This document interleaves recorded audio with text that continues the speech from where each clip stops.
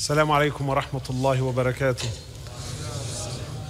May Allah subhanahu wa ta'ala reward you, mashallah, some beautiful faces. Allah subhanahu wa ta'ala inawar alaykum ya Rab. Um, can I kindly ask that before we start, inshallah, please no one to be recording. So I can already see some of the brothers, they're holding their phones, trying to hide it. Uh, please, if I can kindly ask, inshallah, to put your phone away.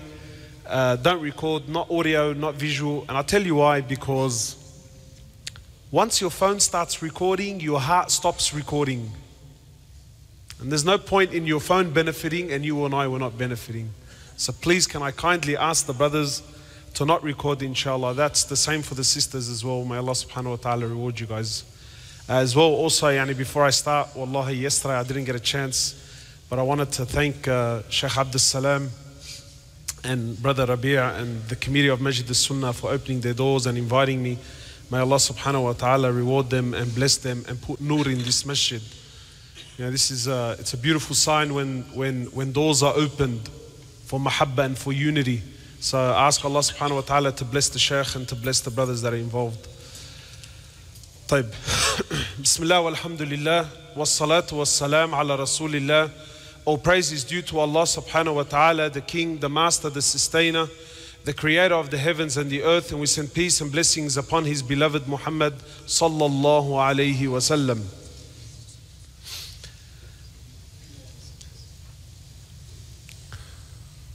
There's a lot I want to mention. and I ask Allah subhanahu wa ta'ala that He makes it easy. But I ask for your undivided attention, please. Please, for your undivided attention.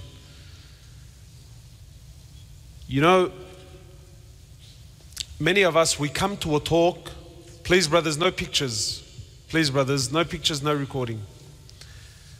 Many of us, we come to the talk, or you come to a Friday khutbah, or you come to a lesson, and there's this sickness where you come to see how will the sheikh or the speaker or the imam how will he entertain me or how will he inform me of something? And therefore you find a lot of times today people go shopping for speakers that they like. This is very very dangerous because this will limit your benefit. The reality is whenever a Muslim goes to any gathering, we should sit in that gathering asking Allah subhanahu wa ta'ala to open our hearts. And you benefit only according to how much you want.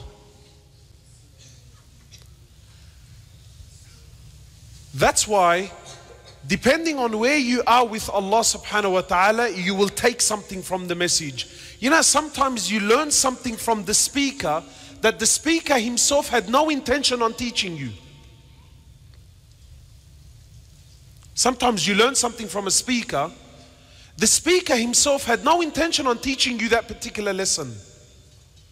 But that was based on your relationship with Allah subhanahu wa ta'ala. That was based on your hunger, your sincerity. So Allah will teach you things. You know, sometimes Allah will teach you from means that you that you never thought possible. Wallah, sometimes Allah will teach you by watching an animal. Sometimes, just by watching two animals, Allah might teach you a lesson that you could never find in a book based on what you want. So, tonight, based on what you want, Allah subhanahu wa ta'ala will give. You see, my brothers and sisters, every single man Rajal in Arabic. Every man is a male. But not every male is a man. Every man, every Rajal is a male. But not every male is a man, and there's a very big difference between the two. You see, most of us, we like to think we're men, Rijal. Speak to anyone and tell him, brother, are you a man or a male? And instantly you will see a reaction in him. Almost as if, brother, are you questioning my abilities? Are you questioning my honor and my dignity? Every man is a male, but not every male is a man. You see, being a male, my brothers, doesn't make you special. Being a male doesn't make you special. Because you were born that way. Allah subhanahu wa ta'ala made you male. And in fact, even that, you know, yesterday, you didn't even have to be born a male. Yesterday, you didn't even have to be born a male. You could go and get a surgery and become a male. Today, you don't even need the surgery. Today, you just have to think. You just have to feel that you're a male. And legally, the law will accept you and protect you and give you the rights as a male, regardless of what you are, based on a thought, based on a feeling. So, being male doesn't make you special, but to be a man, to be a rajal, there's no surgery for that, my brothers. There's no hormones for that. To be a Rajal, that's not a feeling that you can claim in your heart and then all of a sudden you become a Rajal. That's not how it works.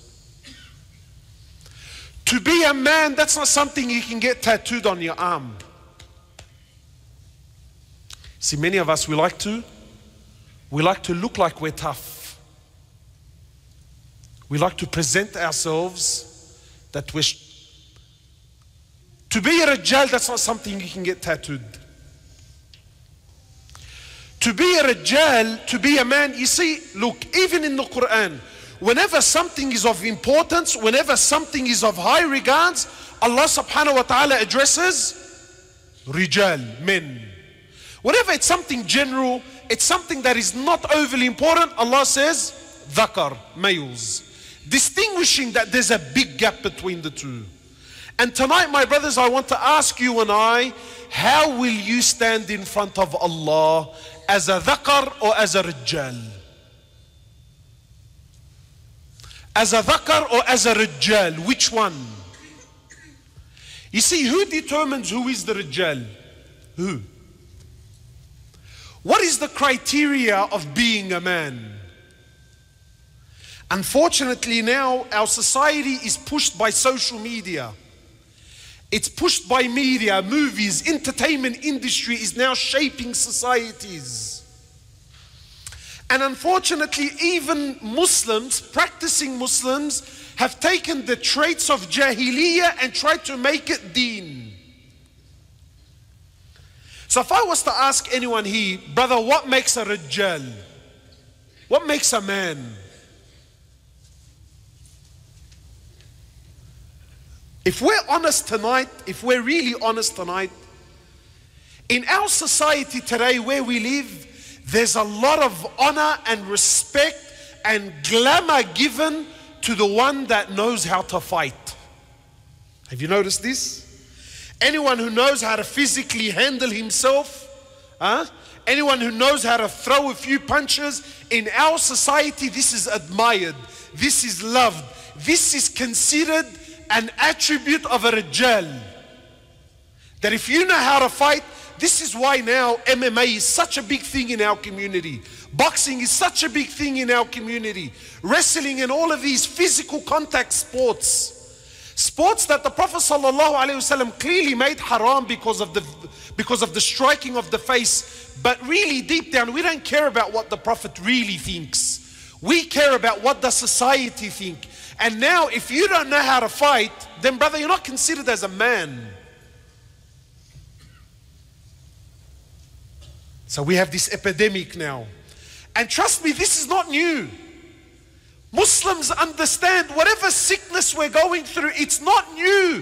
The Habib, the teacher, the master, he came to teach. He came to cure the society of all of its sicknesses. But unfortunately, we're made to believe that the Sunnah is 1400 years old. Brother, we're living in a different time, in a different place. La wallah, it's the exact same diseases. So the Prophet sallallahu alayhi wasallam, please, please, I want you to leave this with me. The Prophet walks into the masjid one day, sallallahu alaihi wasallam, yes? Walks into the masjid and finds the Sahaba wrestling. Halal or haram? Would the Sahaba do something haram in the masjid? Billah, no. So clearly halal, they were wrestling in the masjid, wrestling, not, uh, not striking the face, wrestling in the masjid. So he sallallahu alayhi wasallam walks into the masjid and sees the gathering. You know, I, I just, I just, because I have a very strange way of thinking, let me think out loud with you. And Allahu Alam, I'm not saying this is sharh of the hadith. No, these are just my thoughts. You know, sometimes, sometimes you're doing something with your friend and it's funny. Between you and him, it's funny. But then someone walks in and all of a sudden it goes from funny to looking very foolish. Have you ever had that? You know, sometimes you're someone walks in halfway through the joke and doesn't see the joke, and, and then you start, oh yeah, Allah, what a jursa, what an embarrassment. So the Sahaba, this is this is how I'm thinking, you know. The Sahaba, they're wrestling in the masjid, and then imagine imagine Rasulullah walks in. Imagine, imagine the honor, the izzah of the man. Walks into the masjid, and Sahaba are wrestling. So Allah, me personally, I can't help but think, like, you know now, not the Prophet, a Sheikh walking, jealous, bro, pull up, man, the Sheikh see ya, bro, the Sheikh see. You know, in high school, whenever we were doing something and the teacher was coming, we had a code word. Ija, Ija, Ija. It's in Arabic, as in he's coming, he's coming. Wallah, the principal knew what Ija meant, right? Because everyone says it. So imagine now the Sahaba, they're wrestling, and now the Prophet ﷺ walks in. So you can imagine what happens to the companions. So they all, wow, embarrassing. And then he asks, he says, What are you doing? Please, please. Didn't the Prophet know what they're doing? Honestly, honestly, tell me something. Didn't he know what they were doing? He knew exactly what they were doing. But the hadith is not just for them, it's for every Muslim to the day of judgment. And I tell you, Islam is ancient. Habibi, Islam is contempt. Wallah, wallah, qasam. Sometimes I will read or hear a hadith or read a verse, and it's like Allah said these words in 2019 March. That's how alive the Quran is. People tell me it's old. So he walks in, he sees them wrestling. He says, What are you doing? Ya Rasulullah, marra man, let it go. Khalas, he walked in, we've stopped wrestling, leave it. But he's, because he's the doctor, he's the teacher, and he's there to cure the sicknesses of societies. So they said, Ya Rasulullah, we are, we're wrestling. Then he asks, Why are you wrestling? Ah, look at the salt now. Now the salt is straight to the wound. Yeah, imagine the Sahaba, Allah, who's going to explain why we're wrestling? Who? Who's going to explain why we're fooling around? So they said, Ya Rasulullah, we're wrestling to see who of us, who amongst us is the. Ah, who's the Rijal, brother? Has anything changed in 1400 years? Anything changed? La wallah, it's exactly the same. They're not doing anything haram. Rasulullah knows that, that, that they went, but he was worried about something far deeper. So what does he say? He said, The Rajal, the man amongst you, is not the one that can physically put down the other. Any meathead can do that. That's not how we determine who the Rijal is.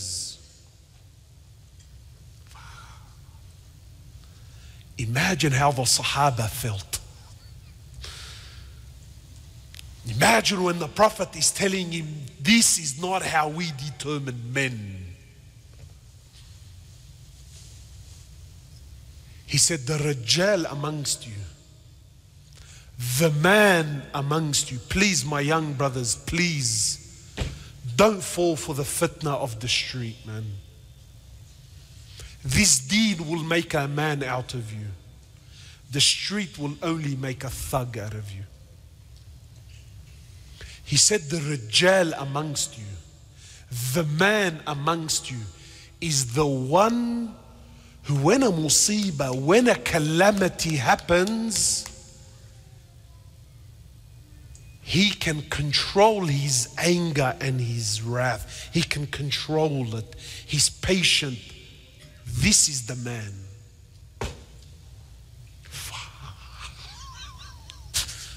Go to the UFC gym and tell him this.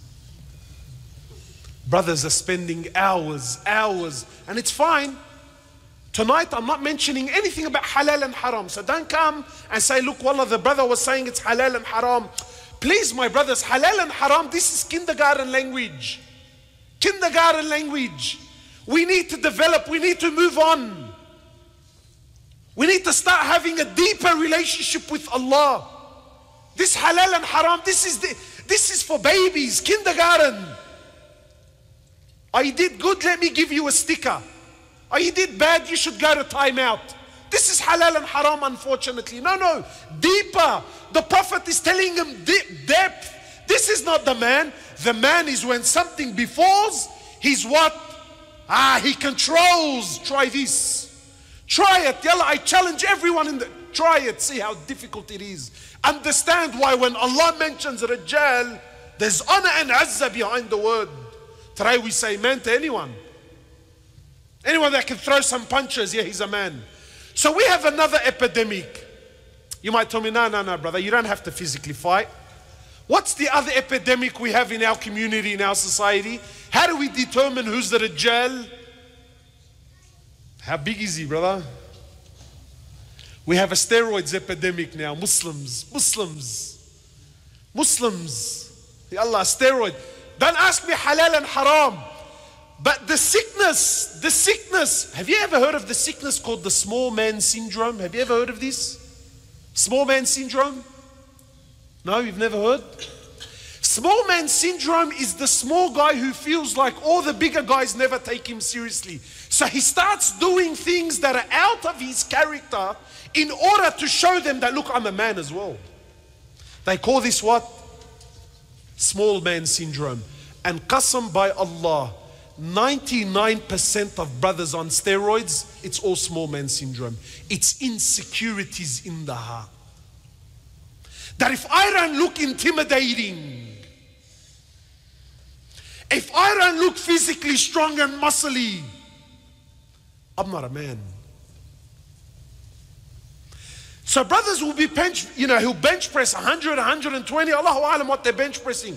He'll bench press amazing weight and it's recorded and Snapchatted. But the same brother cannot lift a blanket for Fajr.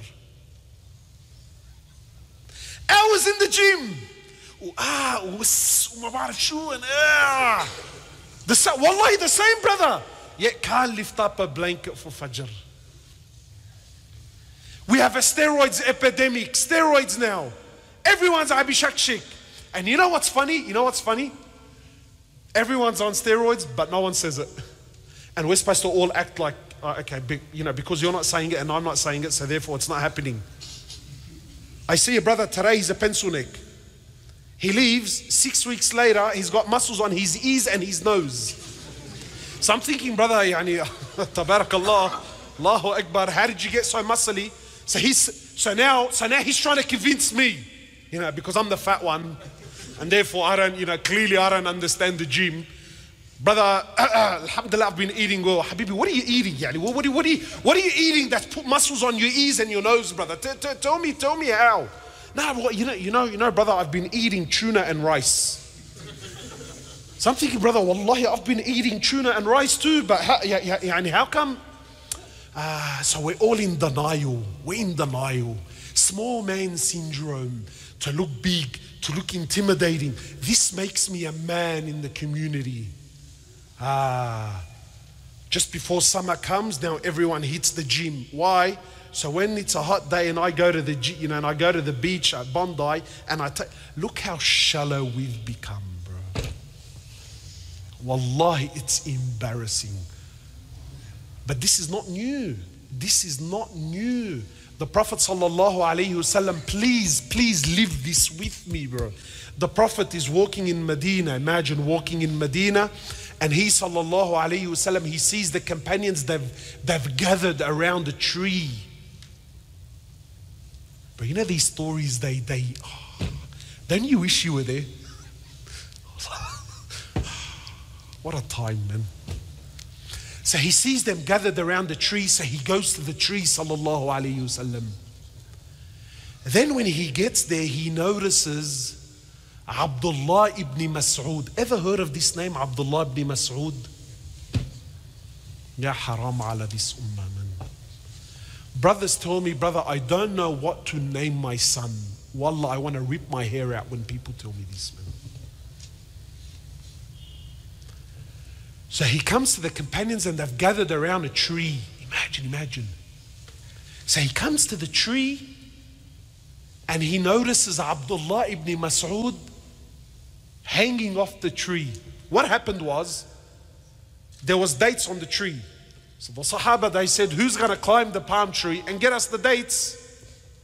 Abdullah ibn Mas'ud wasn't a very big guy. In fact, he was the opposite. He was very skinny. And he was very, like, he was very active, he's very fit. So Abdullah says, Look, I'll climb the tree and I'll get the dates. Now, you need to leave this with me.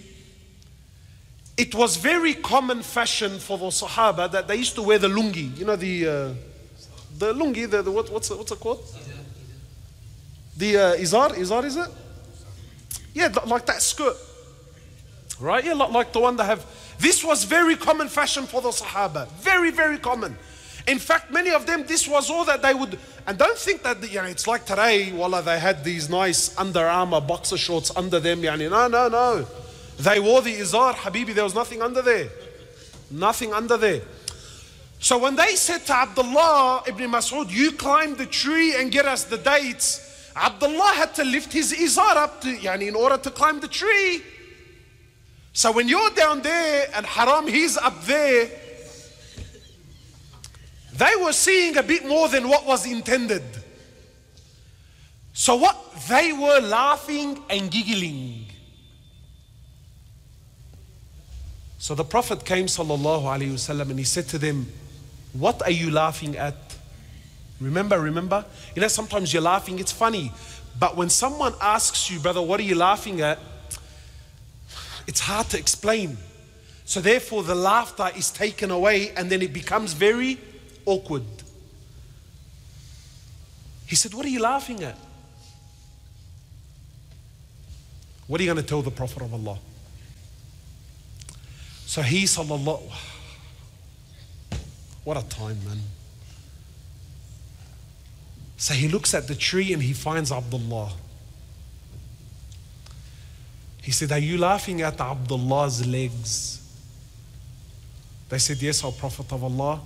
Look how skinny they are.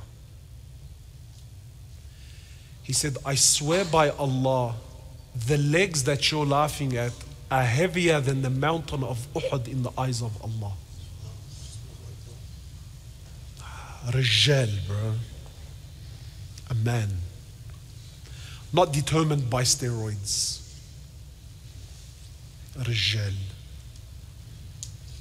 men not determined by their ability to bully other people man but qualities so you might tell me no no no brother look this is the new age brother it's not about physically fighting and it's not about being physically big but in our hearts what determines who the rijal is uh, this one bro we're obsessed with this. So there's always a brother who tells me, ah, Brother, astaghfirullah. me, I don't love money. ya kazzab. you liar, bro. Not because I'm calling you a liar. No, la, la, la wallah. Allah says in the Quran, وَتُحِبُّونَ الْمَالَ حُبًّا Allah says, you know, it's not that you like money. No, no, no. It's deeper. Allah doesn't say you like money. Allah says you have been driven to the state of possessed. You know, when someone's possessed, your love for money has made you possessed. وتحبون المال حبا It's deep. So who's speaking the truth? Allah or you? So don't tell me, brother, I don't love money. Allah says you love it. the one that has money, brother. Today, if you have money, wallah, you can take the spot of the sheikh. Brother, uh, Tabarakallah, he gave $50,000 at our last fundraising dinner. Yeah, so inshallah, he's going to be leading the prayer for the next week. What? We love money. We honor money. We deem money as a, as a rijal. Brother, I provide, brother. I, I provide, brother. I've had grown men come to me and tell me, brother, my son has brought me great shame. My son has brought our family great humiliation. So I'm thinking, Allahu Akbar, astaghfirullah, what did he do? Did he do zina and he had a baby? Great shame to the family. So I'm thinking, uh, it's awkward, you know, but I'm, what did he do? He says to me, brother, he's 30 years old, he still hasn't bought a house. This is deep down in our hearts. So our ability, my ability to make money determines how much of a rijal I am. I ask you sincerely, don't answer, don't answer, rhetorical question. The Prophet of Allah sallallahu alayhi wasallam, by the standards that we live in today, is he a man or not? Don't answer. Don't answer. By the standards that we live in today, is he a Rijal or not? What a dilemma. What an awkward position we've just been cornered into. Today, the sister tells me, I wish I was married to the Prophet. Sister, please, Karmel Allah, just sit down, inshallah, and stay on your Facebook, please. Or he, she wishes she was married to the Prophet. Sallallahu Alaihi Wasallam. This is, this is, this is all wishful thinking, you know. My ability to, to make money determines how much of a rajal I am. The Prophet sallallahu alaihi no, Aisha, Aisha radiallahu ta'ala anha, authentic narration in Bukhari. Aisha radiallahu ta'ala anha, and please don't misunderstand what I'm about to say. What I'm about to say doesn't mean that we have to intentionally be poor. No, that's not what I'm saying. No. But this idea that being rich will bring me success, that being rich will make me a man, this is a sickness. Because your rizq is something that was determined by Allah. So don't question it because when you question your rizq, you're questioning Allah. And Allah says in the hadith that, oh my slave, if you're not happy with what I've bestowed upon you, if I'm not happy, if you're not happy with the rizq that I've determined for you and the situations that you're in, Allah says in the hadith, then go find a Rabb other than me and worship him. Aisha is telling her nephew Urwa, in the authentic narration, she says to him, Ya Urwa, oh, the son of my sister, she said, I swear by Allah, we used to see the moon, then the full moon, then the full moon. The sister that wants to, you know, you know, the sister that wishes she was married to the Prophet. I hope you're listening. I hope you're listening.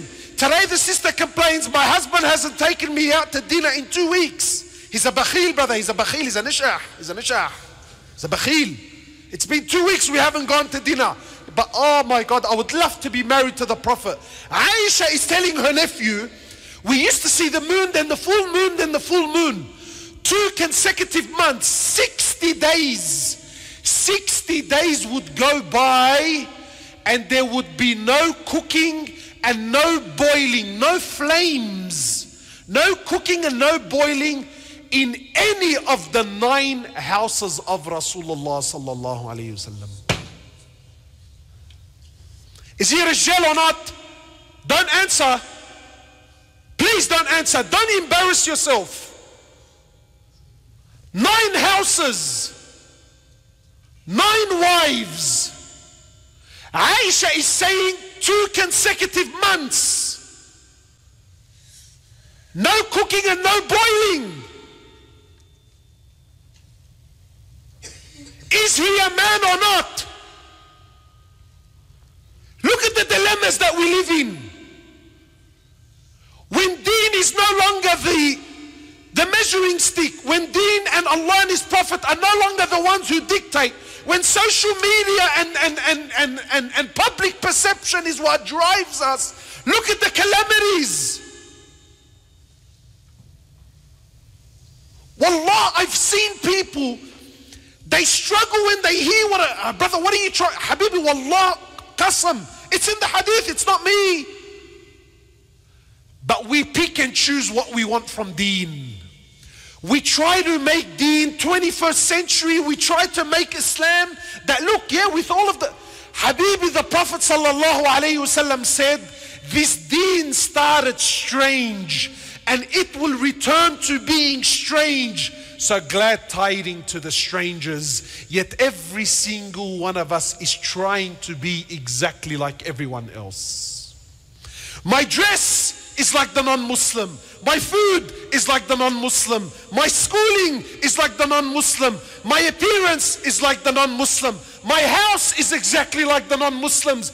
My dreams and my ambitions of owning a house and taking my family on a holiday at the end of the year and driving every ounce of my body's ambition is exactly like the non Muslim.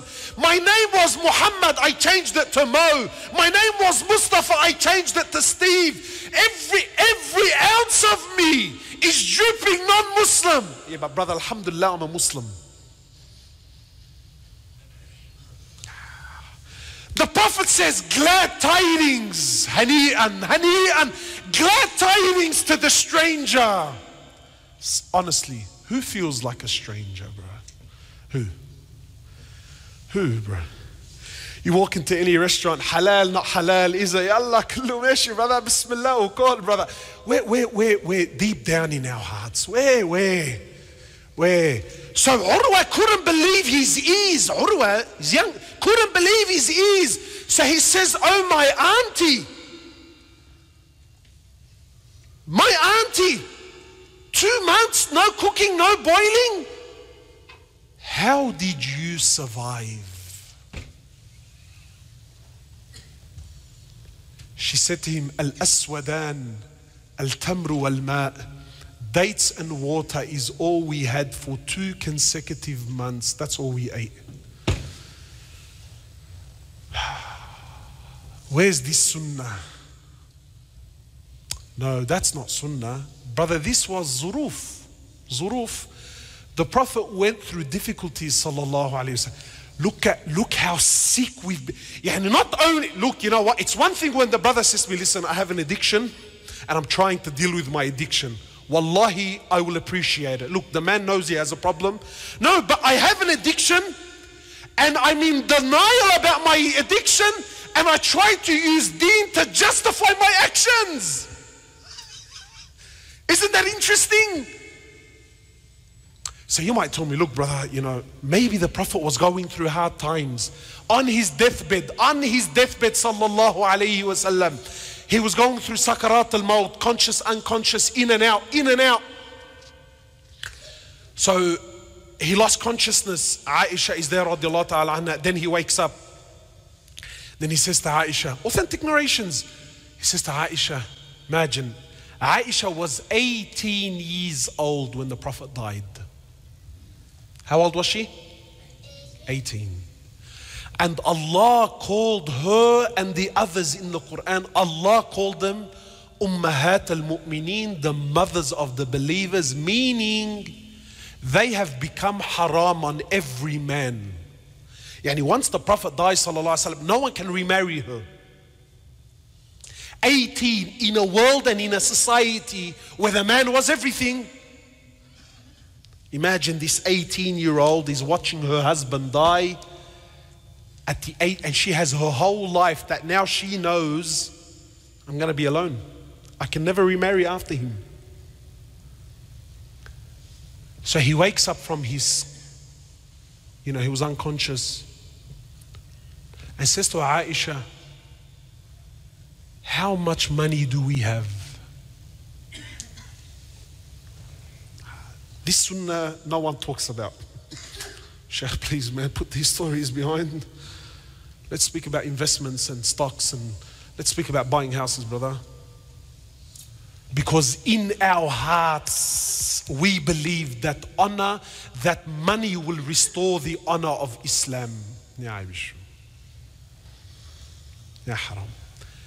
So she says to my Prophet of Allah, all that we have is seven gold coins. Imagine a man with nine wives. Is he a man or not? By the standards that we live in, please don't answer. Don't embarrass yourself. Don't be a hypocrite. By the standards that we live in, is he a man or not? Today, brothers have paid off their houses, paid off. And he's working to pay off the second and the third because, brother, I need to leave something for my children, brother. Exhausting his life. Not halal haram. I don't care about halal and haram. But tell me, tell me, when the Prophet was dying and there were seven gold coins between nine wives, is he a man? Sister, sister, you know the one, ah, I wish I was married to him. What Chanel handbag was he going to buy you with seven gold coins? Tell me, man. What hair and makeup studio were you going to go to on a fortnightly basis? Tell me. What restaurant were you going to be fine dining in? Tell me. Tell me. So he says to Aisha, Take the seven gold coins and give them in charity now.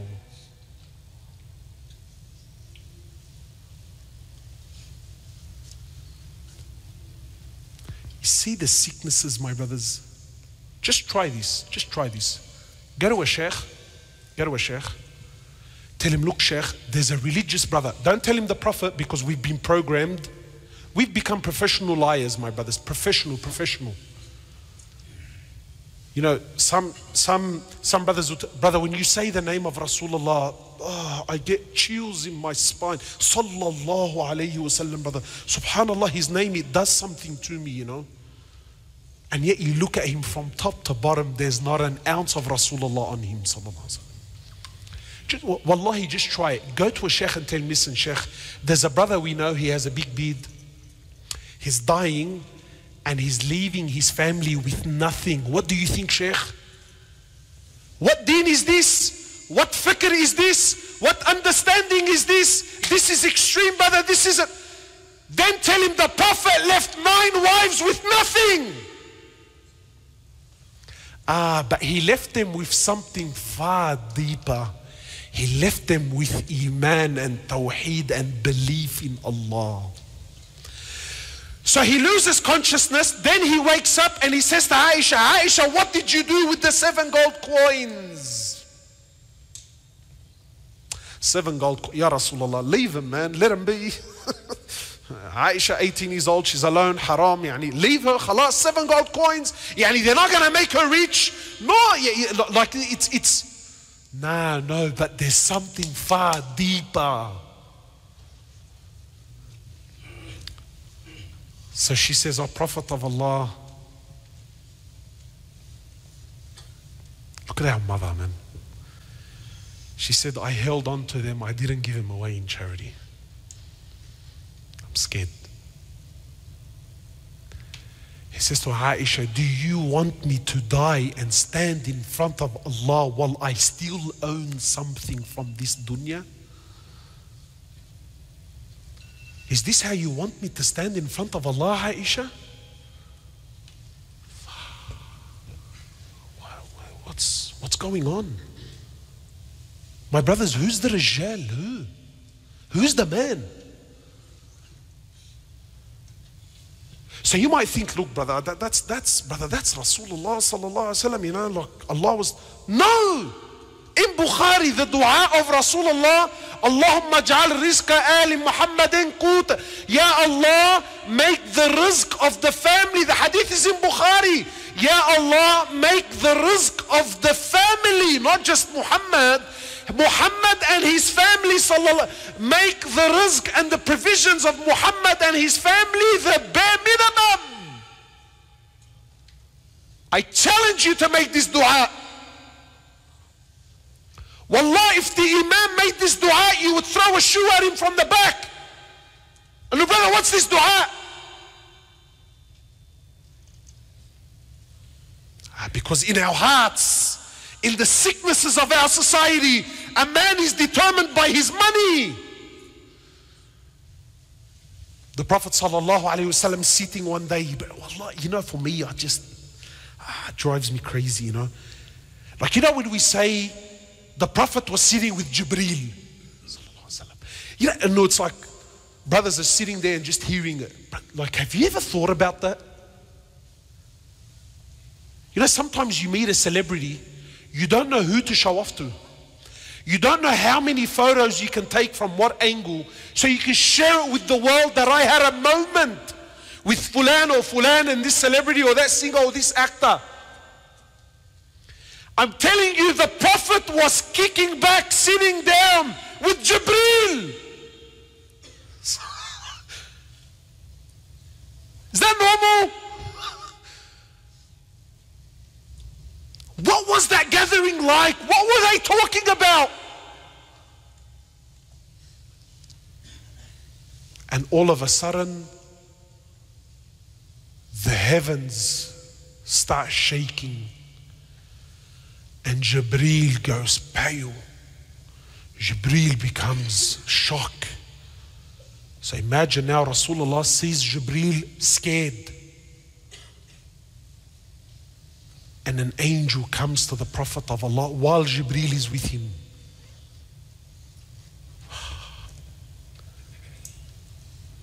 But what was happening to the Prophet then? What, what, what? Like, you know, if you've got Jibreel next to you, bro, Jibreel is with me.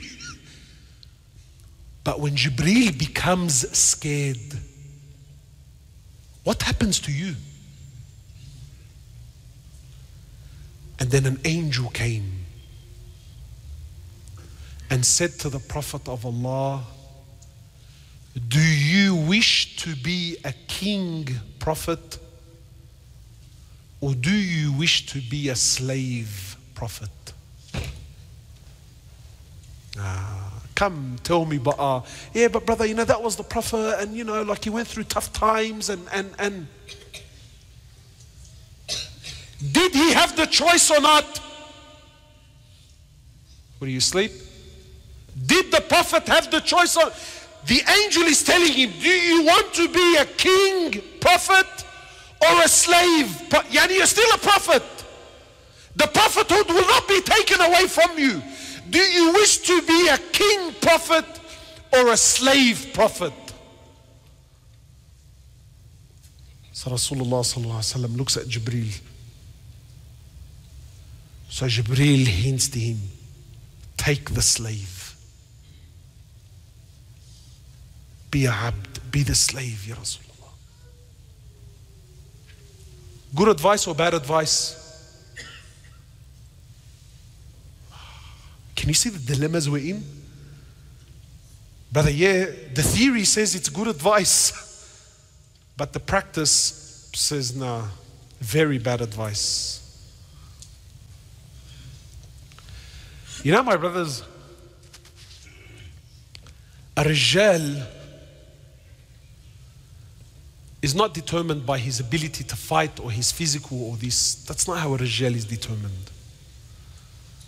A real man, my brothers, and wallah, we can speak for hours, and I'm not going to cover what makes a real man. There's a lot to cover.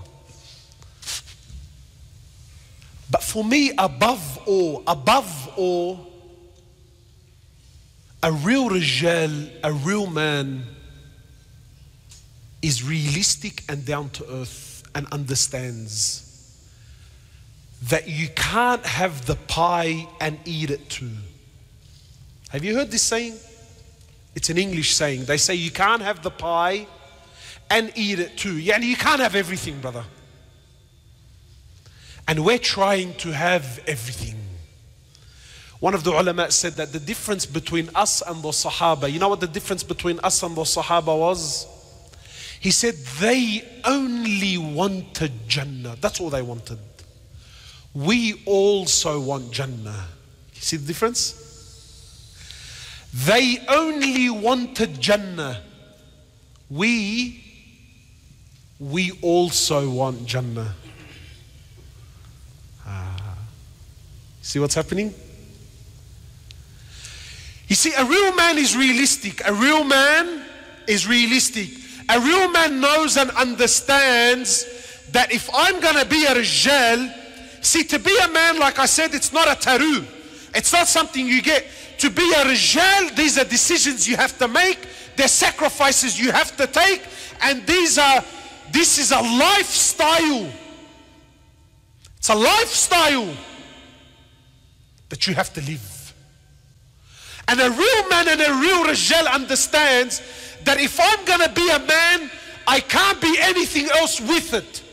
It's either a man or something else. Where am I going with this? A real man is realistic. He understands that when I get married, that when I have children, that when I take on a job, that when I give my word, when I make a commitment, there are sacrifices that have to be made. You see, today we're not men, we're boys. We're little boys that are stuck in big bodies. That's what we are, my brothers. Wallahi, forgive me. But if we're going to be honest here tonight, we are little boys that are stuck in big bodies. We like to think we're men. We like to think we're men. But when you go by the criteria of Allah and His Prophet, we're very far from it. And he's, he's exactly what I'm saying about being realistic. You see, everyone here, everyone here we love women. Or at least I like to think you like women. Inshallah, you all like women, yeah? Inshallah, ya Rab. We all like women. Who doesn't like women, bro? A woman makes your heart dance, bro. Me, if I see a woman, I'm gone for a six. Gone for a six. Khalas, I know, bro. I know. We love women. But no one wants to be married. Have you noticed? We love the idea of being with a woman. Who doesn't like the idea? We love women. But no one loves to be married. Ah, the commitments of being married the sacrifices of being married, the challenges and the difficulties of being married is something a real man, a rijal knows and understands. But we don't. We're boys. We love women, but no one wants to be married. Ah, that's why zina is widespread. That's why brothers now they're getting married on the darkies in secret. You know these, you know these secret marriages. And the brother comes to tell me, brother, it's halal. Please sit down, yeah. Sit down. Stop trying to play with the deen. Stop trying to play with the deen. Brothers are getting married to sisters with no mahram. No one there, no one, no one there to represent her, no one there to, to, to acknowledge, no one there, nothing. Nothing but a phone call, text messages. Brothers with beads, they're marrying women in secrets. Why? Little boys, he thinks he's a shell. You're a little kid. You're a little boy with hormones. That's all you are. You're not any different to me.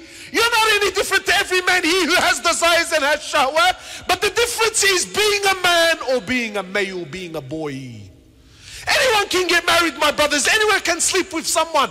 But a real man, a real Rajal, my young brothers, he gets married and understands that in marriage, it's not all rainbows and lollipops, it's difficulties. Yeah, there's good times, no doubt. But there's hardship. And that's why it's half your deen, it's half your faith. Ah. Little boys. We love women, but we don't like to be married. We love kids. Have you noticed? I love kids.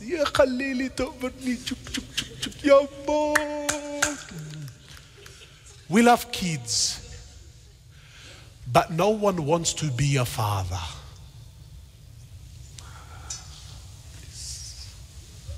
What do you mean be a father? What do you mean be a father? You know why? Because in the sick society, yeah, the same society that says this is Rijal, the same society that says this is the man, the same society that says, brother, this is the man, that's the same society that doesn't praise fatherhood. We love kids, everyone loves kids, but no one likes to be a father, man.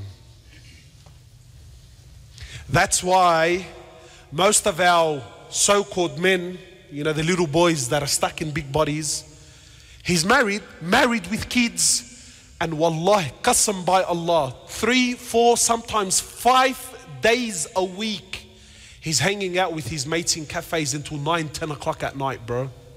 While his wife and his kids are at home waiting. Is it haram? I'm not saying it's haram. Remember what I said in the beginning. Halal and haram, this is kindergarten language.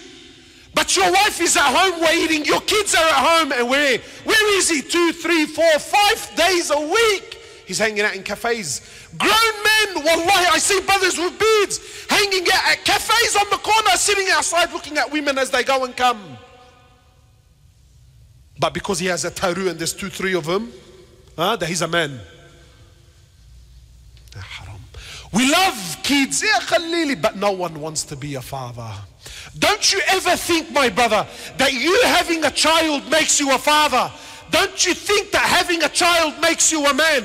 Wallahi, forgive me with all respect and all honor and all ranks. You know, the dog, the kalb, the kalb, the dog, the animal. The dog sometimes has eight pups, eight puppies in one lira. Does that make him a man? Does that make him a man? No, it doesn't make him a man. Your ability to have children doesn't make you a man. Your ability to raise those children, your ability to father those children, that's what makes you a man, bro. Ah. We love money, but no one wants to. No one wants to work, bro. we love money but no one wants to. How much time do I have? Is it Adan now? Huh? 12 minutes for the Iqama. Ah, 12 minutes for Adan. We love, we love what? Please, my young brothers, please. Tonight's talk is very important for you and I, man. We love money, but no one wants to. Ah, no one wants to work, bro. That's why drug dealing and being a runner is so appealing to the young boy. Why? Because he's 16 years old. He's gonna earn 200, maybe 250 dollars a day as a runner. Yeah, and he starts off on $250 a day, straight away he's earning more money than his father is. So he's 16, his father's 40 something, and he's earning more money. So now it doesn't matter that it's haram income. Doesn't matter that this is ghadab money. Doesn't matter that this is going to earn the wrath of Allah subhanahu wa ta'ala. Because all he sees is what in front of him is money. And the very society in which he lives in is driven by money. And wherever he goes, it's all designer labels and designer names and brand names. So this poor kid, he's thinking, he's doing the maths. He's thinking, brother, why should. Uh, so we all love money, but no one wants to work. Today, the brother, he's 20, 25. I know brothers that are 30, he's telling me, brother, I want to retire by the time I'm 35. Retired. And I'm kicking back. And I wish, wallah, I wish he wants to retire at 35 so he can dedicate his life for deen. No, no, no, no. He wants to retire so he can indulge in dunya to the day he dies, bro. Because work is taking him away from his love, his real love, dunya. Cafes and restaurants, uh, fishing trips, fishing trips. Uh, holidays, vacations, weekends. See, a real man understands. Abu Bakr radiallahu when he was the Amir, when he was the Khalifa, he went outside and went to the market to earn his dollar. Uh, even in old age, the Prophet ﷺ died with debt. So, so, so, so, so, so what's happening here? We all love Allah. Have you noticed? Wallahi, go to the junkie, go to a prostitute, go to a brother who's a murderer. Tell him, brother, do you love Allah? Everyone loves Allah, but no one wants deen. No one wants deen. Brother, how can you love Allah but not have deen? No, no, no. So now there's this sick culture. Have you noticed this culture? Brother, you don't know what's in my heart. My Iman is in my heart, brother. My relationship with Allah is in my heart. So now this idea of the heart, it's very poisonous. Why? Because it comes through. Brother, do you know what's in the heart? No, I don't know what's in the heart. But really, he's hiding his He's hiding his hypocrisy with this. So, yes, everyone loves Allah, but no one wants deen. Everyone loves Rasulullah sallallahu alayhi wasallam. Brother, please, brother, please, when you say his name, brother. Everyone claims they love the Prophet, but no one wants his sunnah. What do you mean? What do you mean? His sunnah? Eat on the floor, eat with your fingers, grow a beard, live simple lives. Ugh. Brother, ugh. What's that? What's that, brother? We love Rasulullah. Wallah, we sing his songs and we'll parade and we'll have big protests when something happens. Ah, we show. But no one wants his sunnah. We love Jannah. We love Jannah. But no one wants to die. Hey, have you heard when someone gets cancer?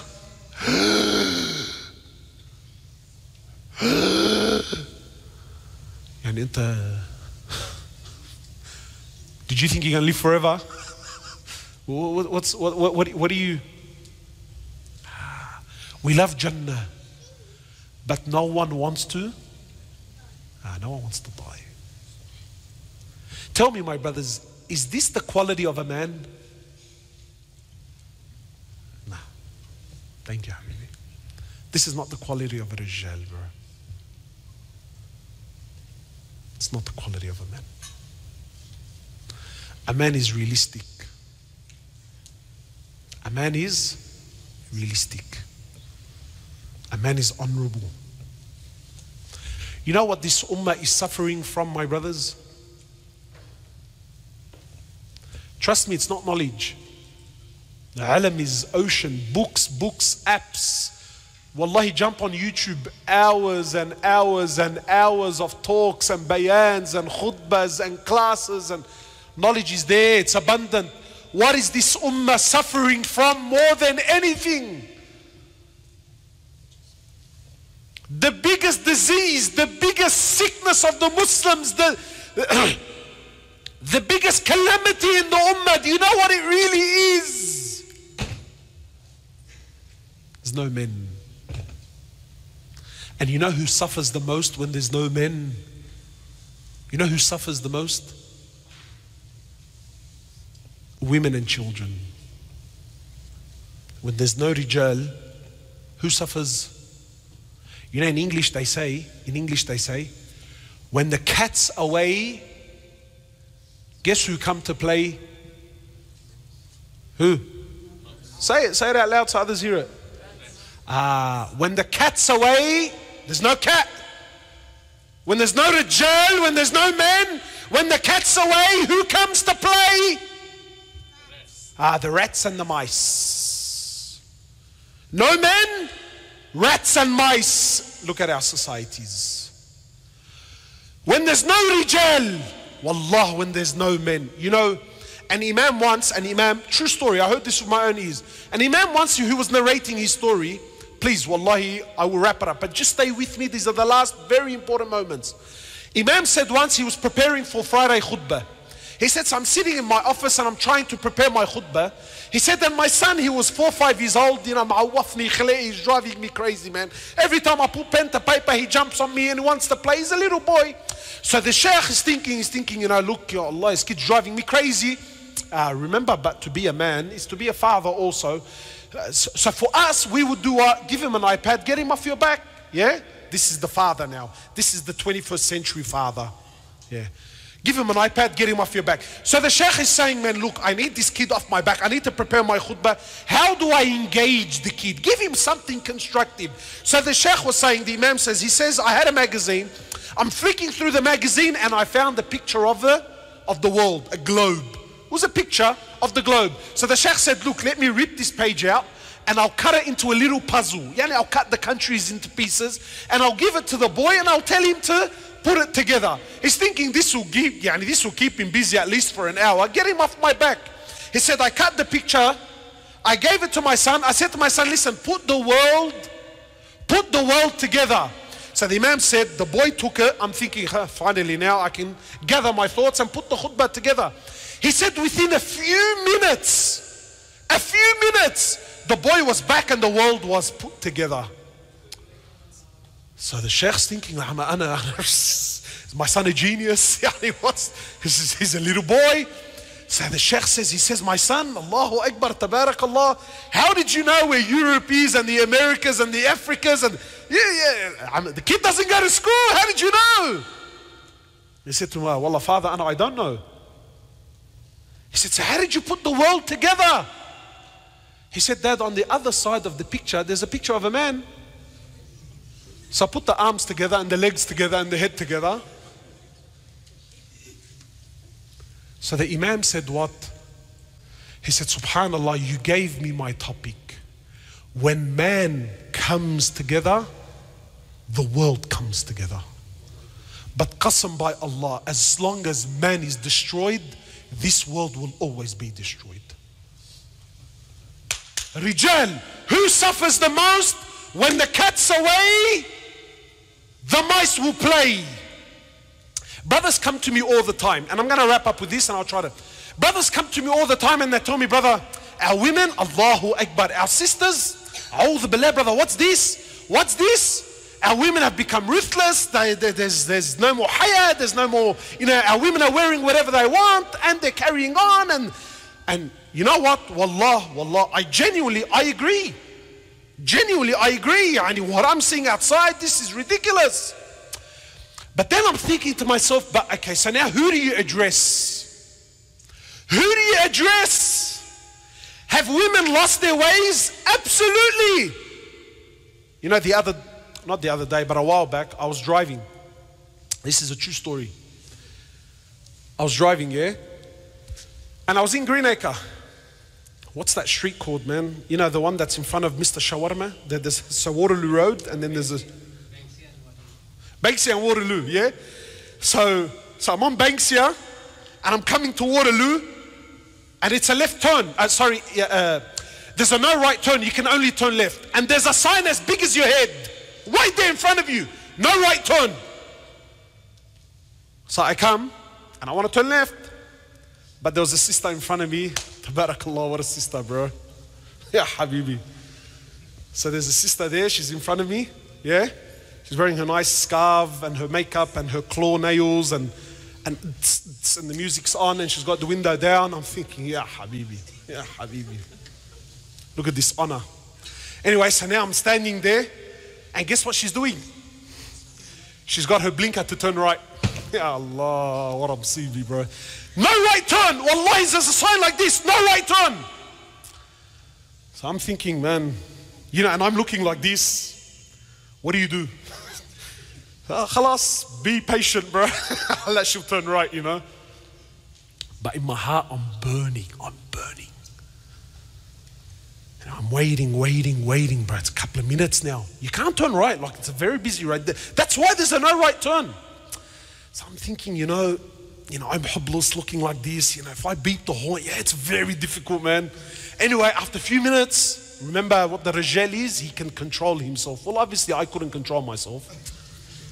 So I was very, very sensitive. Wallah, I'm thinking, you know, I'll have the boys see me. So I went, beep, like, like, uh, yeah, and he shit, no, I touched the horn. Eh? Khalas, uh, bro, turn left. As soon as she heard the horn, she looked at the rearview mirror like this. Allah. She put her window down and said, What? What? Allahu Akbar. Allah, sister, take your time, brother. she wants to punch on. What? This is our women. Is our women. So the brothers are complaining, brother, look at our women, look at our women, they've lost their way, they lost their way. And I say, well, it's true, but tell me something, who do you blame? Who do you hold responsible? Because in one token, yes, our women unfortunately have lost their way, but then look at the men. Look at the men, the same brother that's telling me, brother, look, you know, our women are out of control. This is the same brother who takes a photo with his wife while his wife is in hijab with her red lipstick and her eyelashes, tabarakallah. He'll take a picture with her, she's smiling and he's smiling, and then he puts it on his WhatsApp profile. That's his, uh, this is his profile picture. So now every guy that has his phone number, when he's sitting in the toilet, flicking through his phone, he has exclusive access to his wife.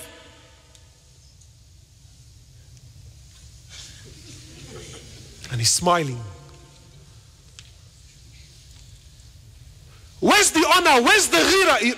So yeah, you know what? It's very easy to look at the women and say, brother, but remember when the cat's away, guess who come to play? There's no men. Where are the men in the society? I had a brother once. I had a brother. He came to me with his wife. A brother came with his wife, gave me salam, and I'm thinking, oh, this is awkward, bro. This is, again, it's not halal haram. I'm not speaking about halal and haram. So he comes up to me, he gave me salam. I'm thinking, oh my God, yes, salam alaikum. I'm thinking, this is awkward. And then he gets me, uh, brother, this is my wife. I'm thinking, okay, salam alaikum. So she puts her hand down, she gets me, salam alaikum, brother. So I'm thinking, Wallah, yani, do I headbutt you first or do I headbutt your husband? Or do I just do a clothesline and just knock out the both of you? What do you mean, salam alaikum, brother? And he's standing there. Look, Wallah, Wallah, it's not because he's bad. Wallah, it's not because he's an evil person. But because there's no men in our society, the very concept of ghira and honor has been lost. It's been lost. You know, Wallah, my brothers, one man, and please stay with me. This is why I'm telling you, anything that we're suffering from the most is the lack of rijal. One man, that's all it took. It took one rijal, Umar ibn al-Khattab, one man came to the Prophet sallallahu wasallam while he was in Medina. Please understand why this is important, my brothers. One man one rijal. That's all we need. One rijal. One. That's all. He comes to the Prophet sallallahu alaihi wasallam and says to him, "O Prophet of Allah, I don't feel, I don't feel that it is right that our men and our women can mix in the streets and see each other. I don't think this is befitting." So the next day, the next day, this is a man, not a prophet. The next day Allah brings down Quran making hijab compulsory into the day of judgment. One result, that's all it took. Yeah, but where's the men, bro? Where? Where? Have our women lost their way? Absolutely, bro. Absolutely. But who do you blame? Who do you blame? Who do you blame? This sister that's leaving the house looking the way she looks. Where's her father? Where's her brother? Where's her nephew? Where's her? Where are they? They're busy fishing, bro. They're busy at cafes. They're busy chasing other women like little boys. So, yeah, bro, our women lose their ways. Stop laughing. Stop laughing. So, what? Our women, they lose their ways. Honor, honor, just, just honor, bro. Ghira, ghira, ghira as a rijal. It's not there. So now brothers come, brother, what are you trying to say? You know, and wallah niqab and sutra, brother, what's this? You know, is this, again, again, brother, is this sunnah? Is this halal? Wallah, it's not halal and haram. Forget sunnah and sunnah. Just where's your heart, bro? Where's your heart? You as a man, as an honorable person, where's your dignity? The Prophet sallallahu ﷺ was sitting with two of his wives. Was sitting with two of his wives. Today, today, when we have barbecues, my wife and your wife and his wife and yalla, and we're all together. Ah, ah, ah, and wallahi, brothers are sitting having dinner, having dinner. Him and his wife, and me and my wife, and I'm talking to his wife, and he's talking to my wife, and he's laughing, and we're laughing, and we're giggling. And this is this is considered as what? This is advancement, brother. Come on, man. What's this sutra and wallah, the girls upstairs? What's it? This is backwards. This is backwards in our hearts. No, no, no, it's not that it's backwards. If there was a single rijal, just one rijal, you, wallahi would never ask, is this sunnah or fard? He would never ask, brother, is this appropriate or not? As a rijal, the Prophet sallallahu alayhi wasallam, is he a rijal or not? Don't, please don't answer, don't embarrass yourself. The Prophet, is he a rijal or not? Today, wallahi, I see mashayikh shaking hands with women. Assalamu alaikum. And wallah, Again, not halal and haram. But, oh, my heart, wallahi, my heart burns. The Prophet sitting with two of his wives. Two of his wives, he's sitting there, sallallahu alayhi wasallam. Someone knocks the door. Yalla, where's this sunnah now? So the Prophet goes to check. It was Abdullah ibn Maktum. You know who the man is? Sahabi, he was blind. You know Abasa wa Tawalla, the blind man that came to us. Abdullah, him! He was the mu'addin of Rasulullah. He's knocking on the door. He's blind. The man's blind. So he gets up and he sees Abdullah. And he says to his wives, Abdullah is on the door. Stand up, the both of you, and go behind the sutra, go behind the veil.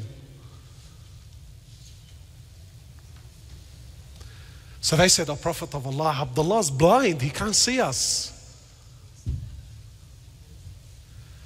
He said, Yes, but you're not blind, you can see him. So get up and go behind the veil.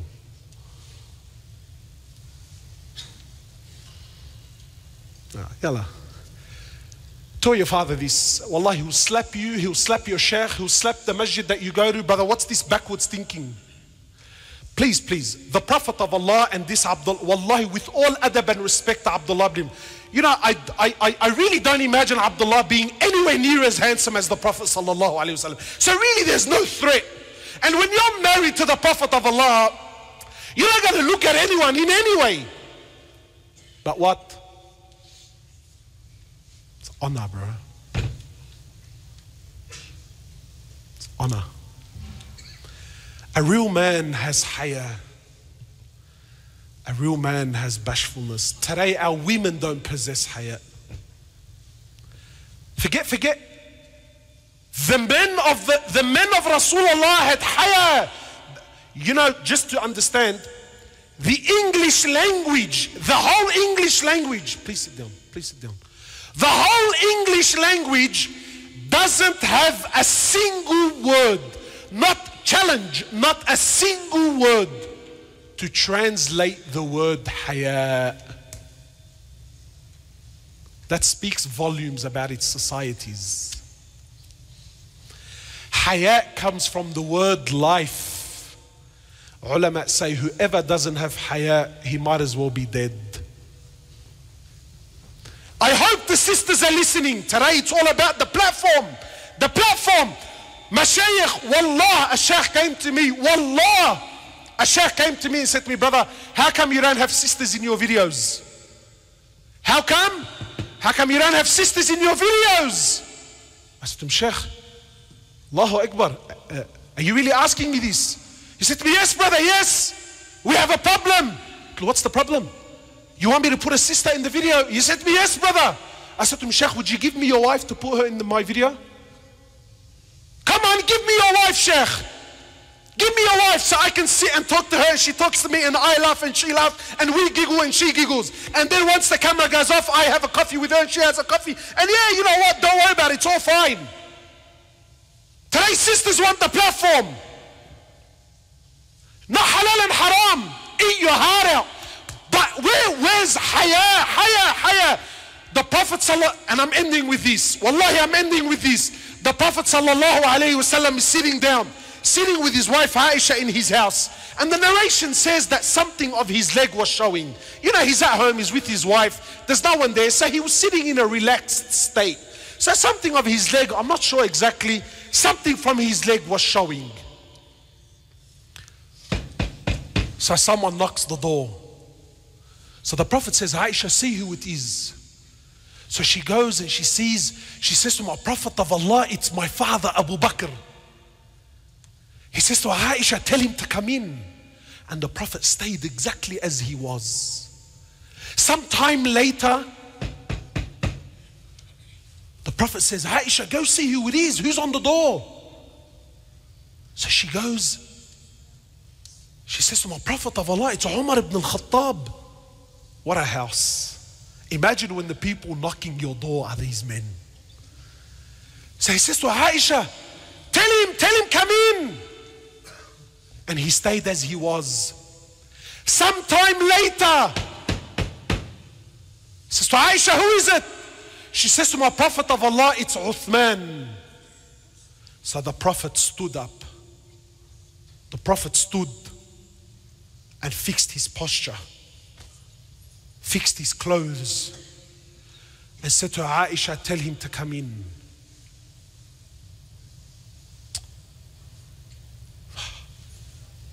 So Aisha, the greatest scholar of Islam was Aisha. When they left, she said, Oh Prophet of Allah, my father walked in, you stayed. Omar walked in, you stayed. Why, when Uthman walked in, you stood up and he fixed your posture? He said to Aisha, Should I not be shy of a man whom even the angels are shy of? Haya, bro. Today, if you if you stay reserved, brother, you're not a man. A real man is loud, he's noisy, he's he's he's We need to restore men. This ummah is suffering from a lack of men, my brothers. Ask yourself tonight Are you a rijal or are you a dhakar? Are you a man or are you a male? We ask Allah subhanahu wa ta'ala to make us men. Men whom He's pleased with. Men whom revive this ummah. جزاك الله خيرا. سبحانك اللهم بحمدك أشهد أن لا إله إلا أنت أستغفرك وأتوب إليك.